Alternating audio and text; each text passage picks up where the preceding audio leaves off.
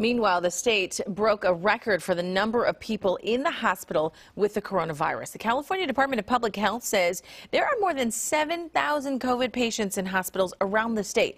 That's nearly tri triple the number recorded at the start of November and more than any other time during the pandemic. More than 1,700 people are in ICUs for COVID 19 across the state.